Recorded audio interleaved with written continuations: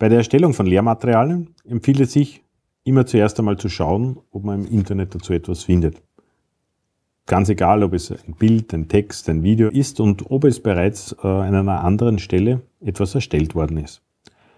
Zumeist ist da der klassische Weg, einfach mal Google aufzurufen. Und das hat natürlich, wenn wir uns erinnern, auch Isabel gemacht, als sie einen Elefanten kreierte.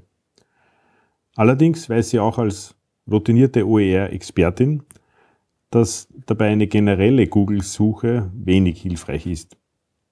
Wird hier ja nicht nach lizenzierten Inhalten unterschieden. Daher klickt sie zuerst auf Einstellungen und erweiterte Suche. Dort scrollt sie ganz, ganz nach unten und findet den Punkt Nutzungsrechte und stellt frei zu nutzen, weiterzugeben oder zu verändern ein. Und jetzt erst gibt sie oben in das Suchfeld noch Elefant Ellie ein.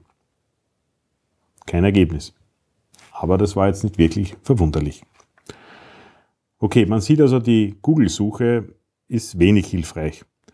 Dann erinnert man sich vielleicht an die Suchmaschine von Creative Commons und ruft http search creativecommons.org auf.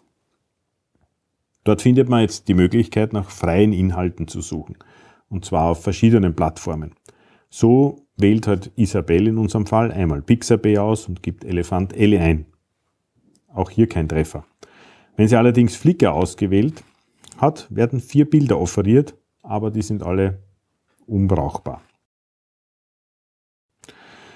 Aber weil sie dann natürlich eventuell darüber nachdenkt, ihren Lehrinhalt musikalisch auch zu untermalen, versucht sie auch noch Yamendo, eine Plattform für Musikstücke, und sieht da jetzt ein paar nette Angebote, die sie vielleicht verwenden möchte.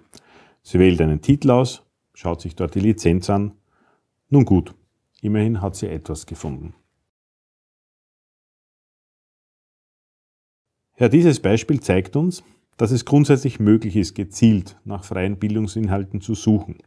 Selbstverständlich kann man all die Plattformen auch einzeln aufrufen, also direkt ansteuern und dort direkt suchen. Vieles ist vielleicht überhaupt nur direkt so erreichbar auch eines der großen Problematiken im Bereich des, äh, der freien Bildungsressourcen.